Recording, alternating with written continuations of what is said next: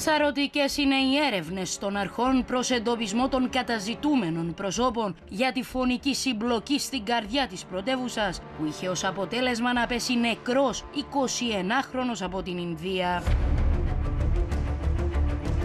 Οι αρχές έχουν εκδώσει άλλα δύο εντάλματα ομοεθνών του θύματος. Πρόκειται για τους 30χρονους Βινάι Κουμάρ και Χαρτέρ Σίνγ.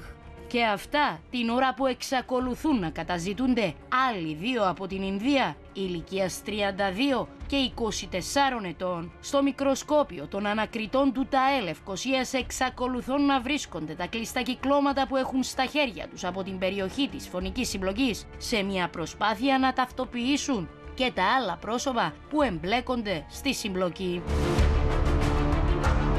Από την ώρα που η αστυνομία έδωσε στη δημοσιότητα τις φωτογραφίες των καταζητούμενων προσώπων, λαμβάνουν διάφορες πληροφορίες ότι κάποιοι εξ αυτών θεάθηκαν σε διάφορες περιοχές με την αστυνομία να διενεργεί ελέγχους ανά το Παγκύπριο. Επί του παρόντος οι ανακριτές δεν κατάφεραν να βρουν την άκρη του νήματος ως προς τα κίνητρα της φωνικής συμπλοκής, ωστόσο κατέχουν πληροφορίες ότι όλα άρχισαν για σήμαντο λόγο.